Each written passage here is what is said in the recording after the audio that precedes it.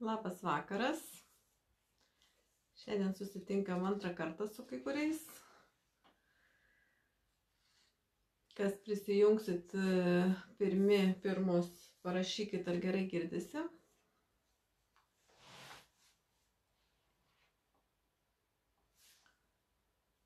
Tuoj perkrausiu.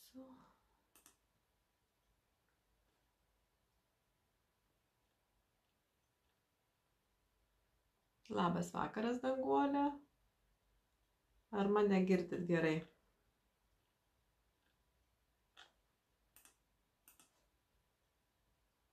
Mm, Garsas geras. Gerai, puiku. O kur aš esu? Čia aš manifestacijų grupėje esu. A, gerai. Išsigandau, kad aš netoj grupiai. Gerai. Kaip nuotaikos? Parašykit, kam gera nuotaika vienetukus, kam bloga nuotaika nuliukus. Kol susirinksim.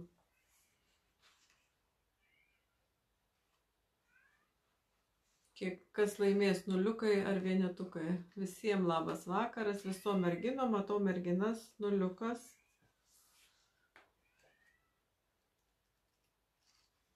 Kas dar? Kam nuliukai, kam vienetukai. Pagrindiniai programavimo du skaičiai - nuliukai, vienetukai. Tai žiūrėsim, kokia programa gausis. Rima vienetukas, labai gerai. Raimonda vienetukas, puiku. Girdim nuliukas. Mhm. Gerai, pasižaidim. Šiandien, šiandien tokia yra tema organų ir emocijų ryšys. Ir, ir, ir, ir, ir šiek tiek jūs supažindinsiu su, su tuo, kaip, kaip emocijos veikia organus, kaip organai veikia emocijas, kaip jie tarpusavyje rezonuoja, veikia arba, arba nerezonuoja. Pradėsim nuo kortų. Ar atsimenat, kokias kortas išsitraukėt? Tai yra, kokias kortas pasirinkot. E, tai neutralu, Vilma neutralioj būsenoj. Tai tokia kaip čia 0,5 tada. Taip, pradedam nuo, nuo kortų. Tai čia yra pirmoji korta, kuri yra skirta jums, kas pasirinkot ją. E, jos pagrindinė žinutė, čia praktiškai taip reikėtų suprasti, kaip, žinot, sielos partneriai yra kartu. Jie kaip ir atskirai, bet jie yra ir kartu jų šaknis atskirai, jie maitinasi atskirai, e, traukia iš žemės energiją su savo šaknimis, bet jie vienas su kitu susipinę šakomis. Jie vienas iš kito nieko nereikalauja, jie yra vien tarpusavyje e, susijungia, jiems yra kartu gerai, bet jie yra iš skirtingų spalvų, jie nereikalauja vienas iš kito būti tos pačios spalvos, tos pačios formos. Tai yra pavyzdys ne tos besąlyginės meilės, kai vienas iš kito nereikalauja to, tuom, kuo jie nėra.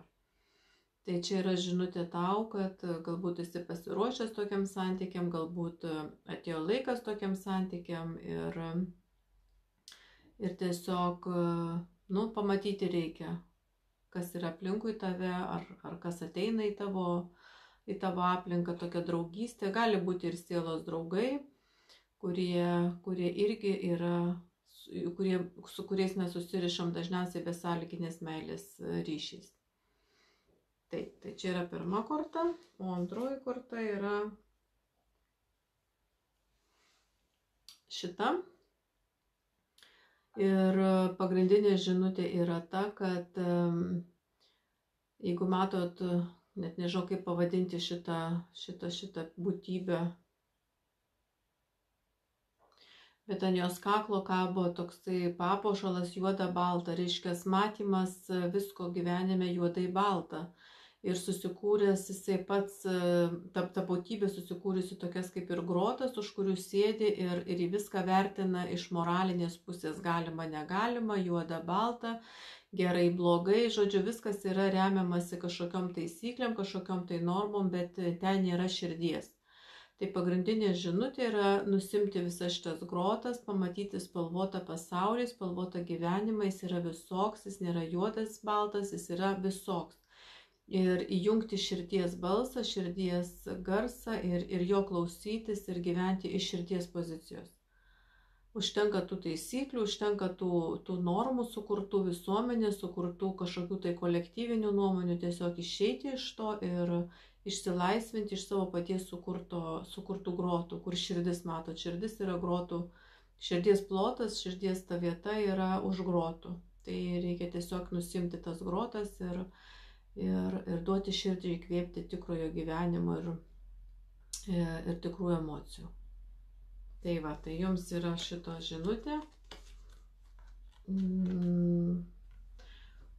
Galit nusifotografuoti šitas, e, šitas kortas ir pamedituoti, gal jums yra, gal kuriejas duos jums, e, jums skirtą mintį šiuo klausimu. Tai va. Gerai, dabar keliaujame prie emocijų ir organų ryšio. Esu jau kalbėjus apie tai ir tai, tai yra tradicinės kinų medicinos teorija apie kurią šiandien kalbėsiu, o, o vėliau darysim praktiką, energetinę praktiką, kada prasivalysim visus organus ir emocijas. Tai va, e, dabar pagrindinė mintis yra ta, kad kadangi viskas yra energija, kūnas yra energija, organai visi turi, yra energija, tik tai yra skirtingi dažniai. Skirtingi organai vibruoja skirtingais dažniais, skirtingų dažnių bangomis Ir emocijos irgi jos turi tam tikrą dažnį. Kiekviena emocija turi tam tikrą dažnį, kuriame jinai vibruoja. Ir jeigu įvyksta disonansas tarp organo ir emocijos, tada tas organas pradeda sirgti, jeigu vyrauja kažkokia tai konkreti emocija. Ir kiekviena emocija dėl to yra labiausiai veikia kažkurį tai organą. Lygiai tai pozityvi, tai jinai rezonuoja, jinai stiprina tą organą, o jeigu jinai yra destruktyvi, tai jinai tą organą ardo, naudoja jo energiją, jį tiesiog išbalansuoja ir, ir jisai vėliau pereina į fizinę lygą.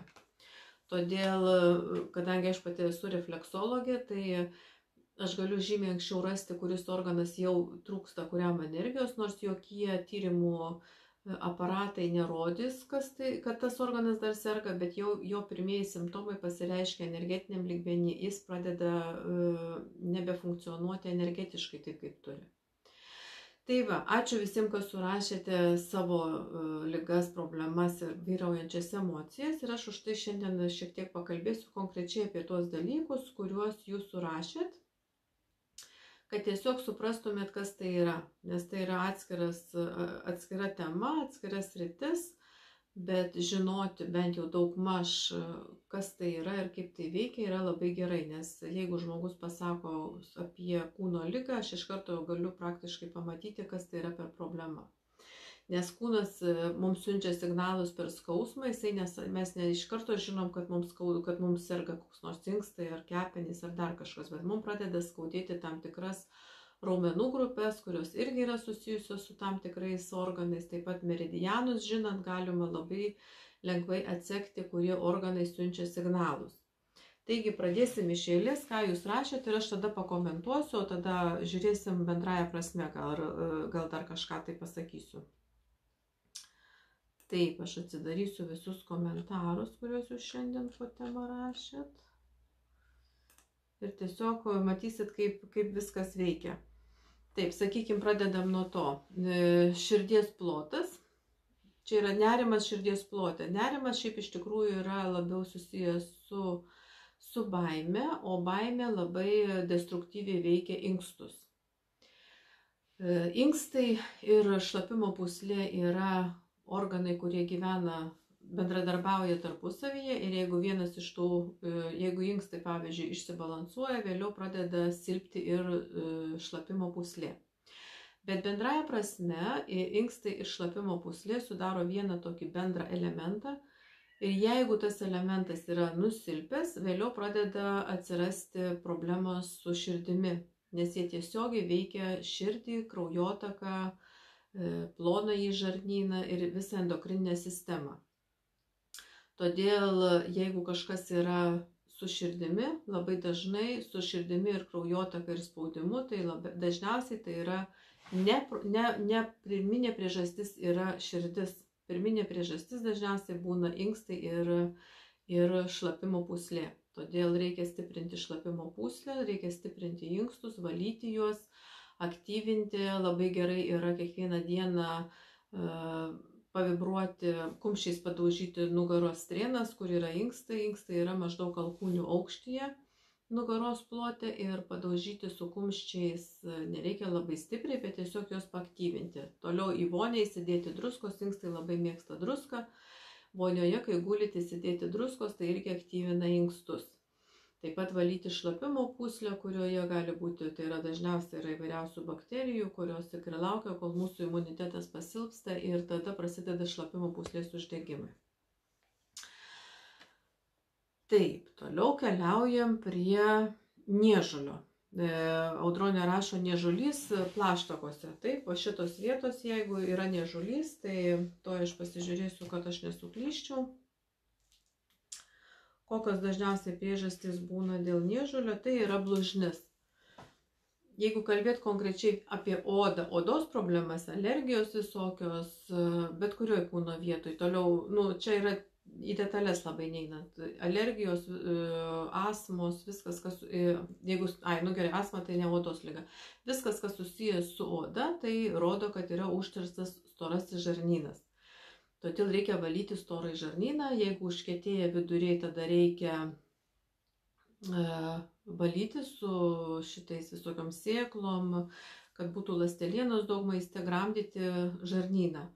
O, o jeigu perskisti viduriai, tai, dažnia, tai yra priežastis dėl to, kad trūksta gerųjų bakterijų, tada reikia pagerti gerųjų bakterijų.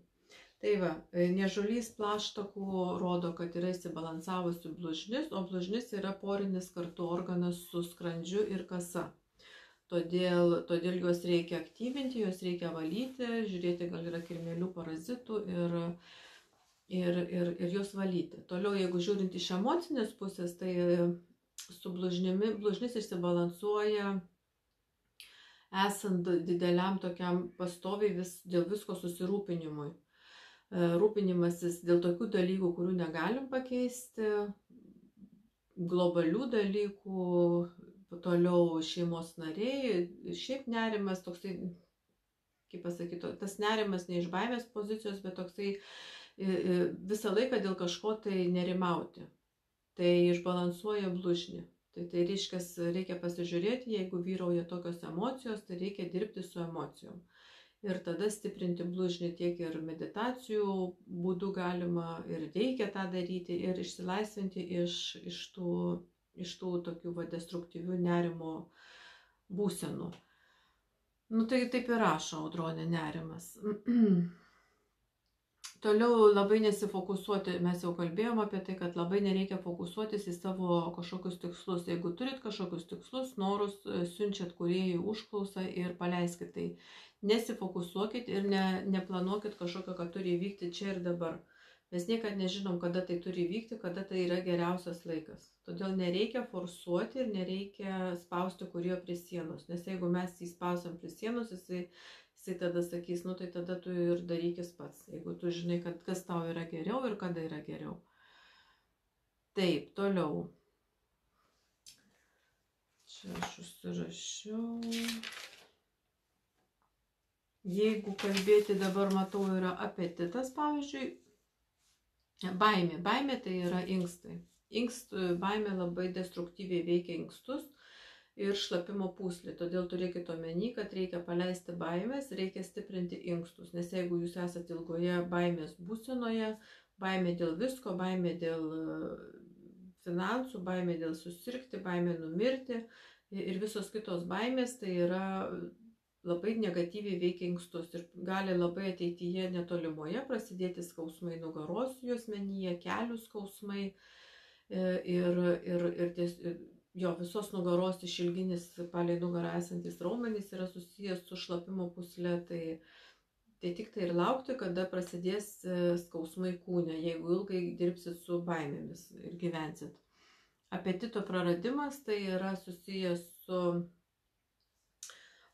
su tam tikrom endokrininiam liaukom ir su plonuoju žarnynu. Nemokėjimas virškinti savo gyvenimo, savo tas, kas vyksta aplinkui mus Toliau tai yra savidestrukcija. Jeigu žmogus nenori valgyti, tai yra užslėpta savidestrukcijos e, programa, kurią reikia būtinai sustabdyti ir iš jos išsilaisvinti. Dėl ko jinai veikia, gali būti labai daug įvairių priežasčių, bet tiesiog nebūtina visų priežasčių žinoti, tiesiog reikia iš to išsilaisvinti. Taip, nerimas jau minėjau, tai yra blužnis Toliau keliaujam.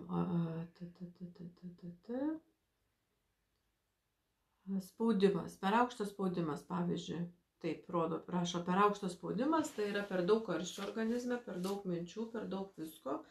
Ir e, per aukštas spaudimas rodo, kad e, blužni e, inkstuose, inkstai ir šlapimo puslė yra per mažai aktyvūs, jiems trūksta energijos nes jie atsakingi už reguliavimą spaudimo, bet ne fiziologinė prasme, energetinė prasme.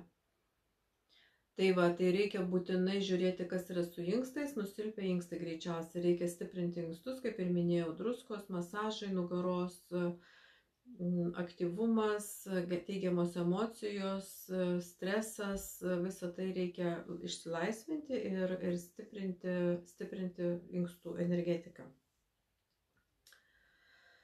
Taip pat, taip pat, taip pat, taip pat, jeigu per aukštas spaudimas, tai kažkas ir su žarnynu yra greičiausiai, kažkas tai nepilnas virškinimas, hormonų sistema e, yra sutrikusi.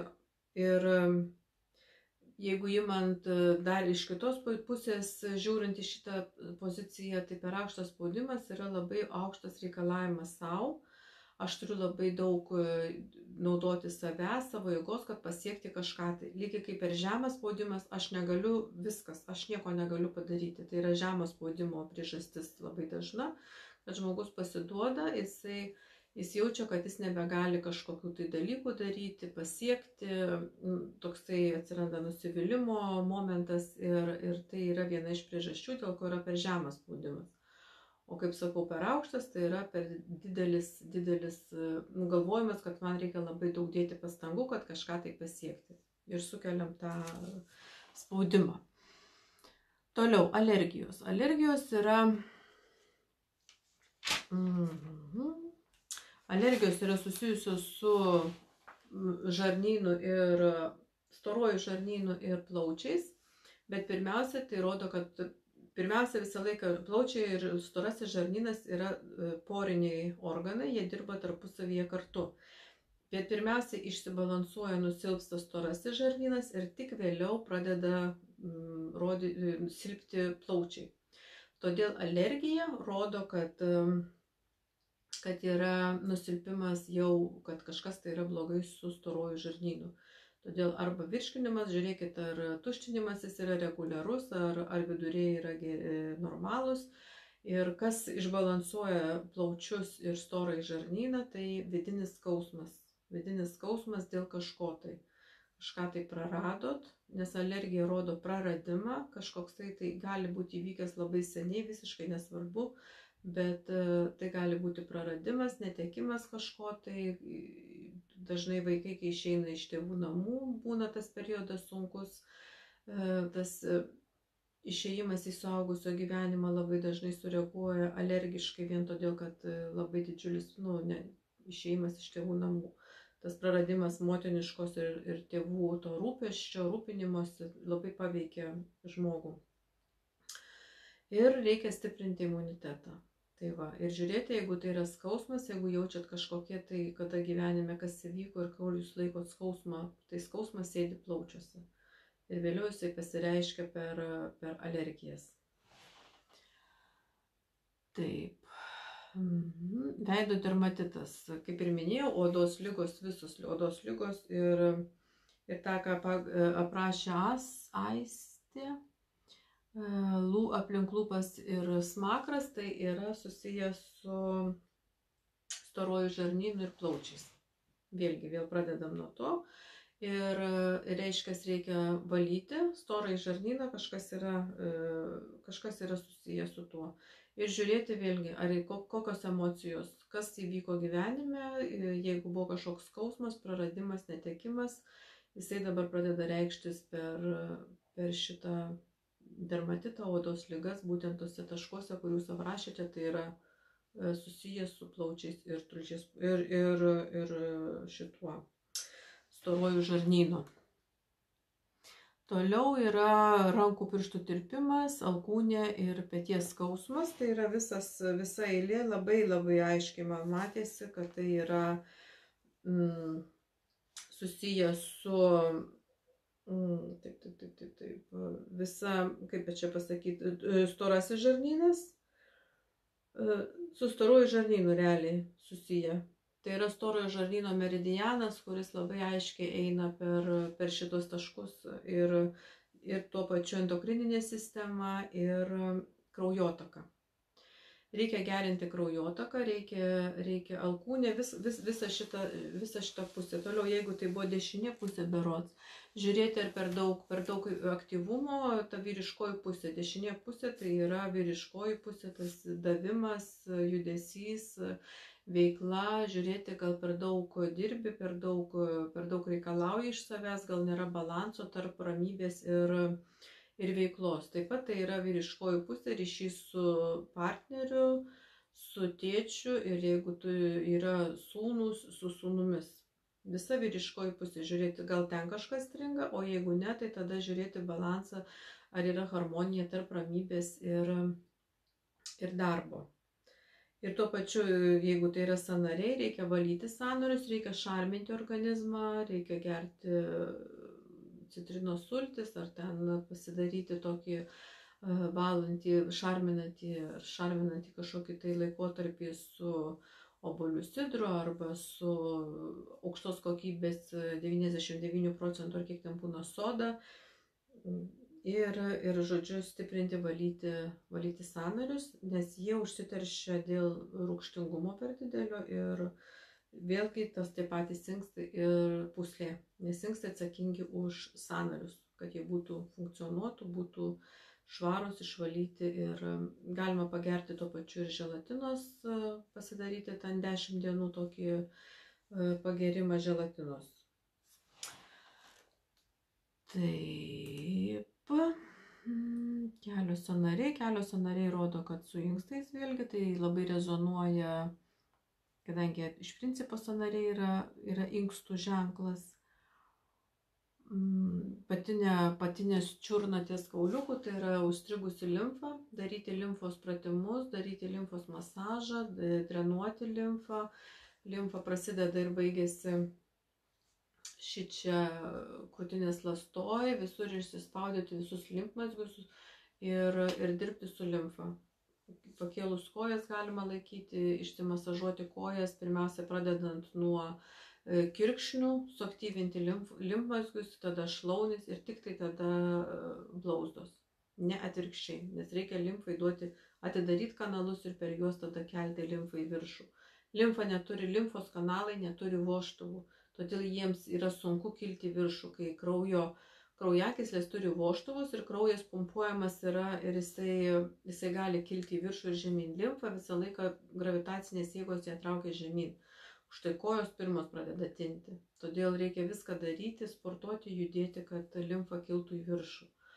O, o vėlgi limfa tai yra e, limfos valymas ir limfa pradeda lietai judėti, terštis, kai mes labai stipriai esam vėlgi rūpinamės dėl kažko, nerimaujam, visas tas nerimas e, aktyv, e, nu, silpnina visą limfo sistemą ir tuo pačiu blužnį.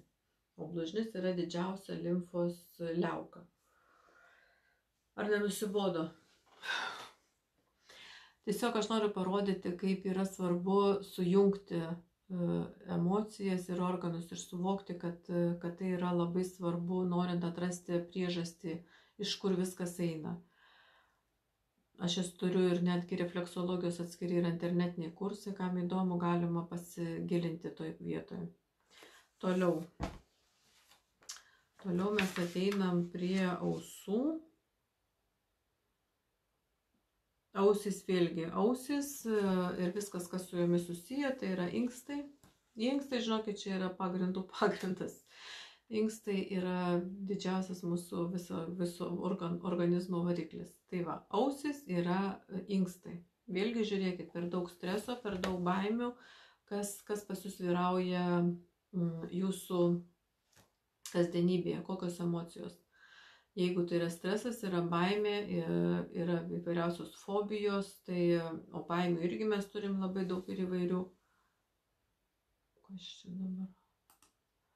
Tai, tai visa tai atsiliepia vėliau inkstuose ir, ir ausis iš to pradeda irgi rodyti e, įvairiausius dalykai gali būti. Taip pat reikia neužmiršti, kad tai yra kraujotaka smegenų ir ją reikia valyti, pasidaryti česnako trauktinę, uh, galima, kuri yra labai gerai, yra visokiausių kitokių gal ir augalų ir visokių metodų, kaip pasidaryti kraujotakos valymą visų kraujagyslių. Tai tikrai labai reikalinga ir, ir kartas nuo karto reikia tai padaryti ir žiūrėti, kaip ar keičiasi situacija su ausimis ar ne. Skrandžio skausmai. Skrandis yra rūpinimas, rūp, labai didelis rūpinimasis viskuo. Tol, kol nepaleisit rūpinimuose kitais, ir, ir apskritai viskom, ko jūs galite pakeisti ar negalit pakeisti, skrandis visą laiką rodys, e, o skausmas tai rodo, kad labai daug karščio organizme. Ir, o karštis tai yra per didelis galvojimas, per daug visokios veiklos, aktyvumo, reikia nurimti, reikia paleisti. Reikia paleisti tiesiog. Negalim mes dėl visko rūpintis. Padėti galim, bet nepriimti visų tų lygų rūpeščių į save. Nes viską, ką jūs paimate į save, jeigu pradeda žmogus jausis atsakingas už visą pasaulį, už, už visus aplinkinius, už šeimos narius, vaikus, anūkus, tai, tai tada vat, skrandis rezonuoja labai stipriai į šitą emociją. Taip, žarnynas. Žarnynas tai yra e, nemokėjimas virškinti, virškinti gyvenimo, Ta, ta, ta, ta, ta, kas čia dar yra? Mm. Vėlgi, žarnynas tai yra skausmas, kažkas yra nepaleista, kažkoks skausmas, praradimas, netekimas, kažkoks kitas dalykas, kas sukėlė skausmą, vidinį skausmą, emocinį skausmą, tai atsiliepia žarnynę. Reiškia, reikia valytis, tvarkyti su skausmu. Sanariai, vėlgi, kaip sakiau, sanariai tai yra inkstai, inkstai, juos reikia aktyvinti ir valyti tuo pačiu sanarius, šarminti organizmą. Vėl kairė koja čiurna, tai vėl e, limfa, limfa reikia aktyvinti, judinti, kelti ją į viršų. E, labai gerai yra limfai aktyvinti pratimas, kai atsistojate ant galų pirštų ir greitai krentat ant kulnų 60 kartų kiekvieną dieną padaryti. Labai stipriai suaktyvina visos limfos judėjimą per visą organizmą. Atsistojate ant galų pirštų ir krenta taip, kad sudreba net smegenys. E, jeigu kas turit pakeistus sanarius kokius nors, tai žiūrėkit, gali būti per stipru. Nes esu girdėjus, kad e, jeigu pakeisti sanariai, žmonės jaučia, tai nėra gerai galbūt. Tai vat, bet jeigu nėra pakeistų sanarių arba nejaučia diskomforto, tai tada 60 kartų kiekvieną dieną nuo galų pirštų kristi ant kulnų. Labai geras pratimas. Taip, alerginė sloga buvo, gleivės gerkliai. Visos e, vėlgi gleivės, kyšiai, nes ne, nejuda akmenys e, tam tikrose organuose, tai rodo blužnies e, nusilpimą akmenys e, tulžies puslė, šito jo, tulžies puslėje akmenys, sinkstuose akmenys, tai yra irgi gleivės, iš jų prasideda viskas. Todėl, todėl, todėl e, reikia aktyvinti blužnį. Blužnis aktyvinasi su uh, fizinė veikla. Jeigu daug sėdit, daug galvojat, uh, daug stovit, viskas, kas yra statiška, kur nėra dinamikos, ten, ten yra, nuo to silpnėja blužnis. Todėl reikia aktyvumo. Tai šalta reiškia trūksta energijos, trūksta organizmų jėgos, reikia valgyti daug e, prieskonių dėtis į maistą, kad duotų karščio. Mm, bet matau, kad tuo pačiu yra raudonas veidas, e, čia rašo Rima. Tai, tai reiškia, reikia balansuoti ir žiūrėti, į ką reaguoja, į kokį maistą reaguoja galbūt, nes tai yra žarnynas. Netgi taip ir parašyta, žarnyno problemos ir veido raudonis. Tai vad plaučiai ir storasis žarnynas yra tarpusavėje ir čia ir rodo labai aiškiai. Reiškia, reikia valyti storą į žarnyną ir vėlgi skausmas. Koks, kokia emocija pagrindinė vyrauja tavo gyvenime ir ir kada buvo kažkoksai tai netekimas, praradimas, skausmas dėl kažko tai, emocinis skausmas. Tai va, tai, tai va šitie yra pagrindiniai, pagrindiniai dalykai, dėl ko stoja žarnynas ir, ir atsiranda odos problemas. Taip, ir dabar aš dar pažiūrėjau, jeigu kas nors ką nors parašėte dabar čia. Labai sausos pėtos, ypatingai kulnės pėdos. Pėdos tai yra ryšys su, pirmiausia, sausumas tai yra karštis, per daug karščio. Kas dabar yra pėdos, tai yra ryšys su mama. Iš principo labai didelis e, sąsaja tarp pėdų ir mamos. Žiūrėti per daug kažkokių tai emocijų jų tarp jūsų galbūt yra. Galbūt kažkokia įtampa, kas kelia, sukelia energetiką, sukelia karštį jūsų santykiuose tada reikia tvarkyti santykius, žiūrėti. Gal jeigu jau viskas yra gerai su mama, tai, tai tada su mamos visa protėvių linija. Padaryti galbūt protėvių meditaciją, nužiūrėti, žiūrėti, kas čia yra, nes, nes pėdos ir šiaip ryšys su žeme, pasidaryti meditaciją, pasižiūrėti, kokios šaknis tavo E, kas tai yra, kas ten nutrūkio, kas ten ne, gal silpnos šaknis, gal kažkas tai nėra gerai ryšyje su žeme ir tuo pačiu su savo mama ir jos visa, visa protėvių linija. Va. Daugiau kaip ir... Ai, komentarus galima pasižiūrėti dar.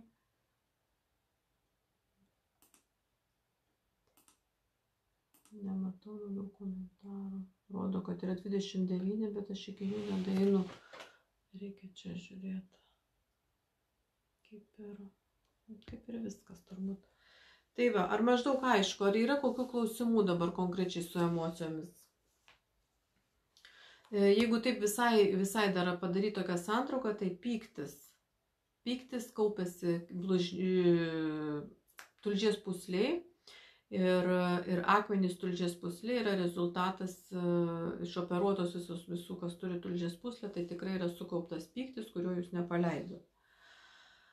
Toliau mm, apatija,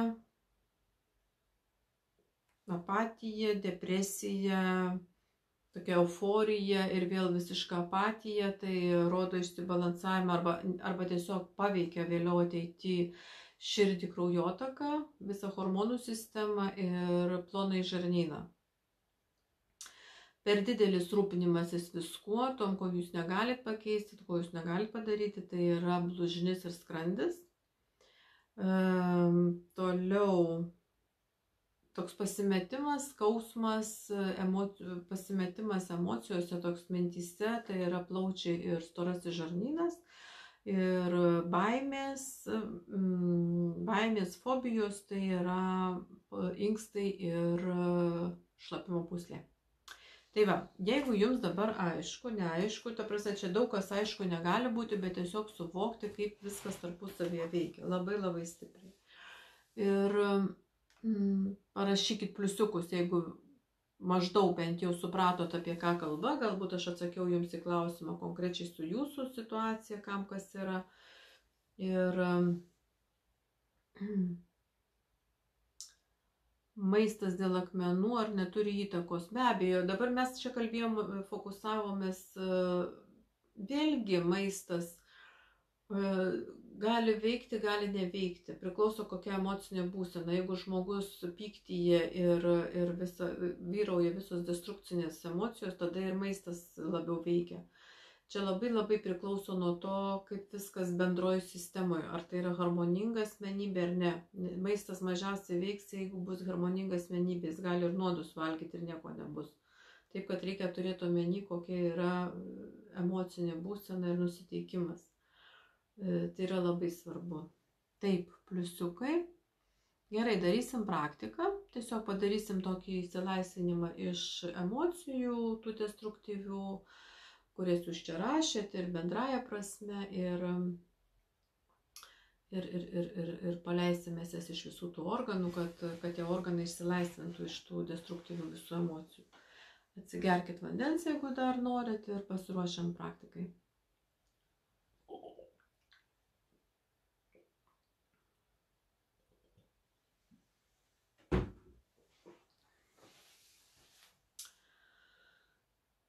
Užsimerkiam, nusišypsom, nurimstam.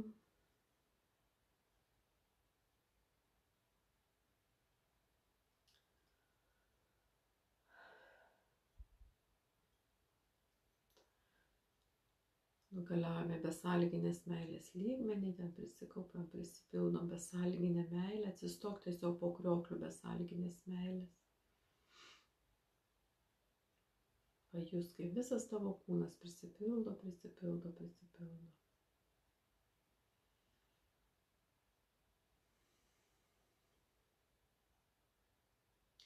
Sustojam į kvantinį ratą, susikimam už rankų, sustiprinam visą energijos rautą.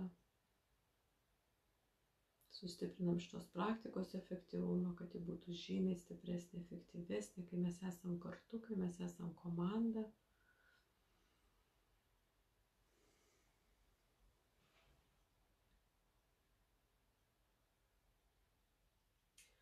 Dabar atėjo laikas paleisti. Paleisti ateities planavimą, tokį, kokį tu nori, kad jis būtų.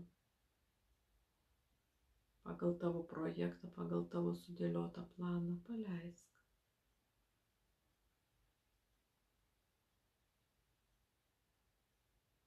Paleisk viską, paleisk visus planus, paleisk, išsilaisvink iš jų.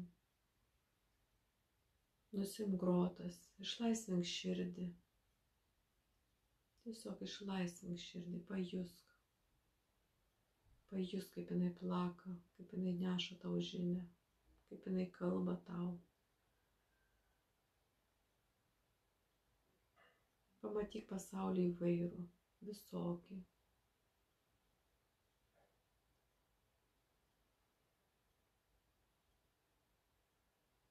Pamatyk žmonės, kurie yra aplinkui tave. Kokią jie žinę tau neša. Dėl ko jie yra šalia tavęs, dėl ko yra jie aplink tave, ką jie tave mokina. Ką jūs vienas kitą mokinat, vieni kitus mokinat, padedat, paremėt, pasidalinat. Ir kurio pavedu, kad visi, visi mus, tai yra visus mūsų suptų sielos draugai, sielos partneriai.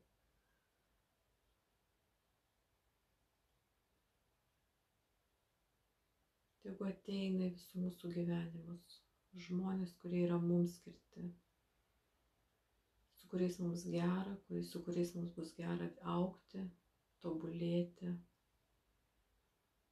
transformuotis, eiti per gyvenimą.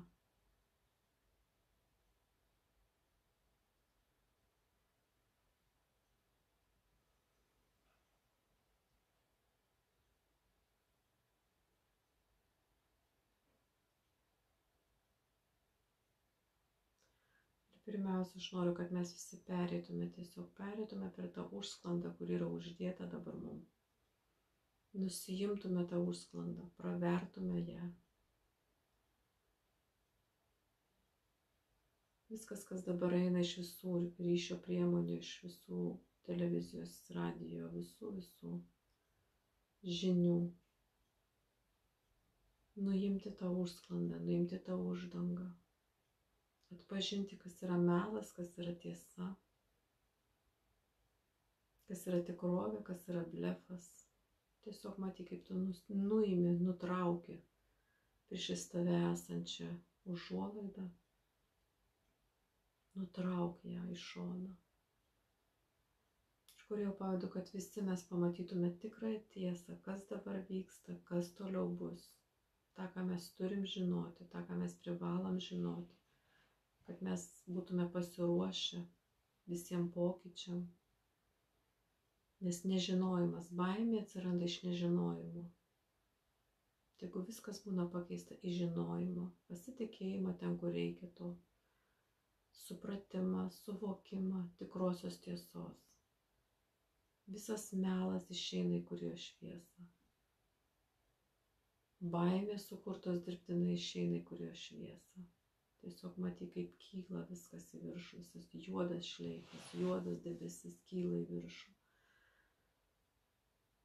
Mes esam švieso ir mes turim matyti tiesą, mes turim žinoti tiesą, kas yra iš tikrųjų. Ir kai tu atidarai tą užuolaidą, pasižiūrėk, kas ten yra kitoj pusėje užuolaidos, kur jau parodyk mums visiems, parodyk mums visiems tikrąją tiesą, tikrąjį vaizdą.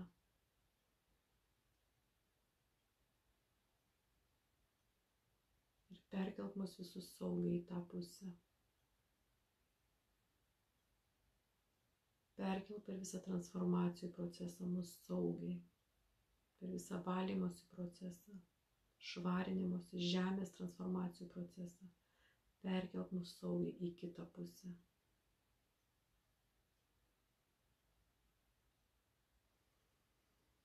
Ir paleis dabar visas baimės susijusias su transformacijom, su to pereinamoju laikotarpiu, paleisk, viską paleisk iš savęs, nerimas, baimės, stresas, neužtikrintumas, baimė dėl vaikų sveikatos, baimė dėl tėvų. Viską paleis dabar iš savo rankų, iš savo minčių, iš savo širdies, kur tu kūnė jauti, pajaus, kurioje vietoje kūnė jauti ir paleisk. Išsilaisvink, išsilaisvink, paleisk viską.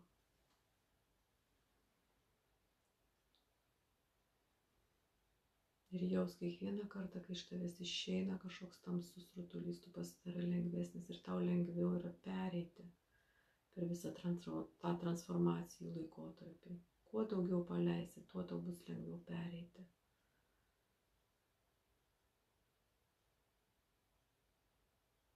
Kur dar tau sunku, kur dar skauda, paleis.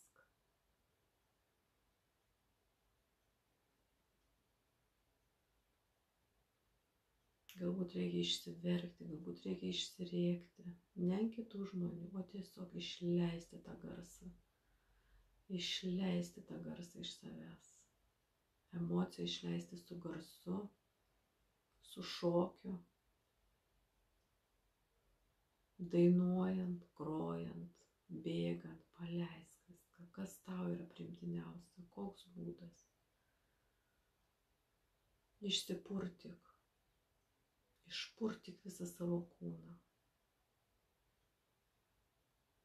Iš visų lastelių, išpurtik, išpurtik visą tai, kas sėdi, kas sudėta, visi čimpai, implantai, viskas, kas nepriklauso tau dabar yra sunaikinama, išvaloma iš viso tavo fizinio, emocinio, astralinio, fizinio, emocinio, dvasinio ir mentalinio kūno, iš viso astralinio kūno išvaloma visi, visi čipai ir implantai.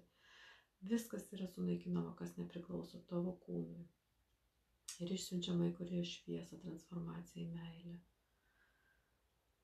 Visa negatyvios informacijos, visi portalai yra uždaromi ir išsiunčiami į kurie šviesą transformacijai. Tu esi laisvas nuo baimės, laisvės nuo nerimo. Pilna laisvė, pilna laisvė, pripildo tave besąlyginė meilė. Užtikrintumas ir ramybė, pereik Pereik per visą tą procesą, matyk, kaip tu pereini. Visiškoje ramybėje, visiškoje ramybėje ir pasitikėjime. Neleisk melui tavo kabinti makaroną nausų, neleisk. Atsirink. Kuriejas padės tau pajausti, atsirinkti, kas yra tiesa, kas yra tiesa.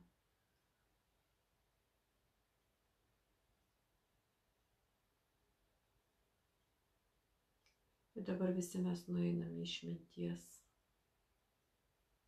lauką, išminties energijos lauką. Įeik į jį ir pajus, kaip visas tavo kūnas, visas tavo astralinis kūnas perima išmintį, žinojimą, dievišką išmintį ir dievišką žinojimą. Susijung su išminties kanalu, su išminties energija, susijung. Perimk jo vibracijas.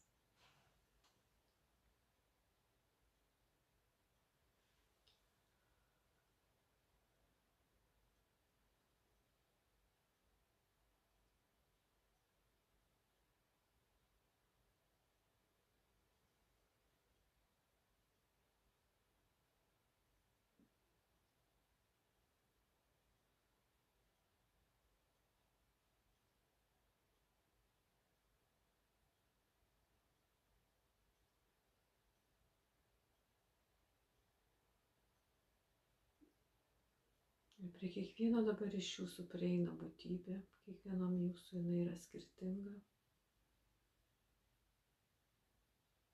Ir kviečia eiti kartu kažką parodyti. Einam visi pasižiūrėti, ką jinai tau parodys, ką jinai man parodys, ką reikia žinoti šitame etape. Jeigu nieko nematai, tiesiog paklausk, kad duotų tau mintis, suvokimą, galbūt spalvas, kad tu matytum. Tai gali būti labai įvairu.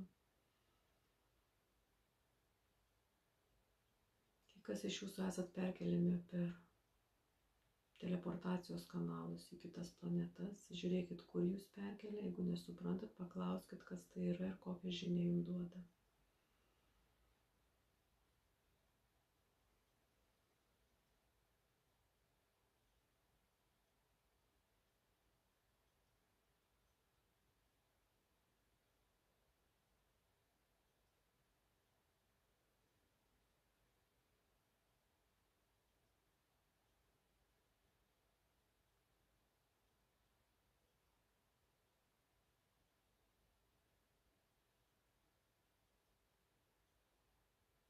Paimk visą informaciją, kurią tau perdoda dabar, bet kokiais būdais, mintimis, vaizdais, spalvomis, jausmu, emocija.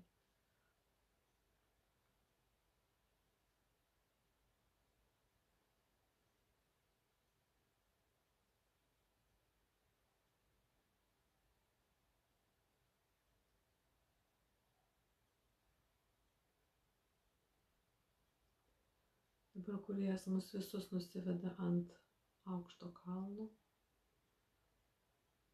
iš kurio mes galime matyti viską, kas dabar vyksta, visus procesus Žemėje.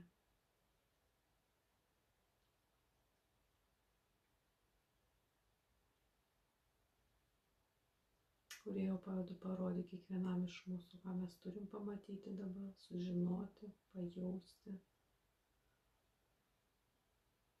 kas vyksta. Į kur visą tai eina. Ką mes turim konkrečiai, ką aš, ką kiekvienas iš mūsų turim padaryti, kad viskas vyktų maksimaliai saugiai kiekvienam iš mūsų ir visai Žemės planetai.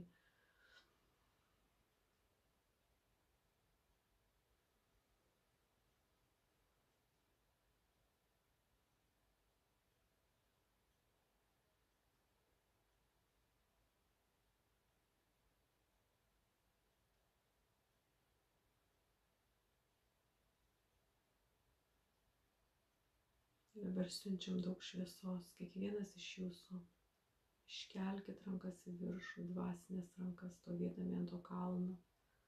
Ir matykit, kaip iš jūsų rankų eina didžiulis šviesos srautas, kurėjo, meilės, transformacijų srautas į žemę. Ir kaip viskas pradeda keistis ir visi procesai pradeda greitėti.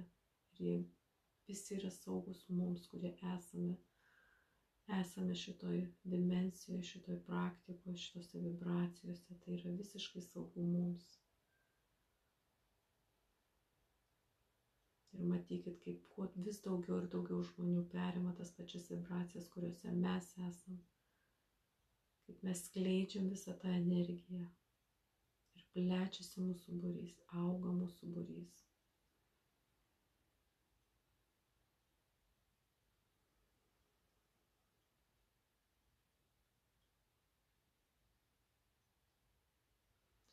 Kurie jau pavedu sukelti visiems dabar vibracijas, kurie nori to sukelti, kurie dar nėra perėję į 5D. O tie, kurie yra 5D, visiems sukelti maksimaliai viso astralinio kūno vibracijas, fizinio, emocinio, mentalinio, dvasinio ir viso astralinio kūno vibracijas. Pajausk visų savo kūno.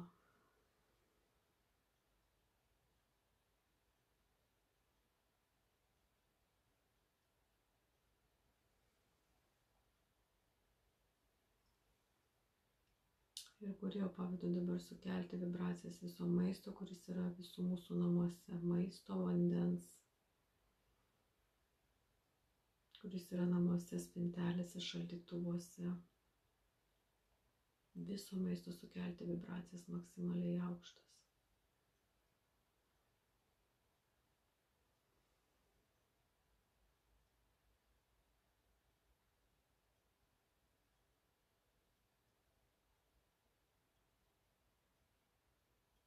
Ir kiekvieną iš mūsų dabar pripildo dievišką švarę energiją, švaros energiją, švaros energiją. Dieviškos švaros energija pripildo kiekvieną mūsų. Nusiplaunam, nusiplauktų, visi nusiplaukiam, ta dieviška švaros energija viską išplaus. Visa nešvara, dvasinė, emocinė, mentalinė, fizinė nešvara, viskas išsiplauna, išsiplauna išsiplauna, išsiplauna ir dieviška energija pripildo tave. Dieviška transformacijų energija pripildo dabar tave.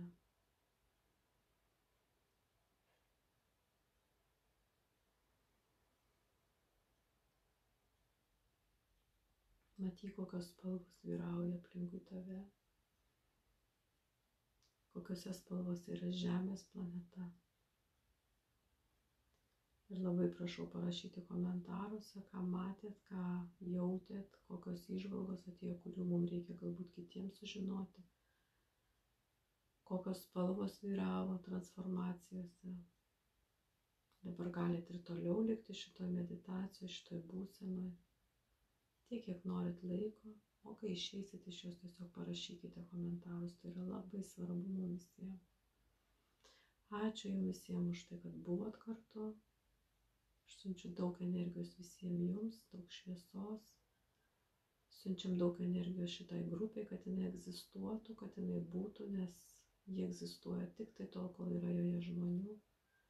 Sustiprinam ją energijos srautą, dieviškos energijos srautą, kad žmonės matytų ją, kad žinia apie šitą grupę plistų, plėstųsi ir kuo daugiau mūsų būtų šitoj grupėje Nuo to jos priklausys ir visas efektyvumas visų praktikų. Daug šviesos jums ramybės ir iki pasimatymo kitą pirmadienį ate.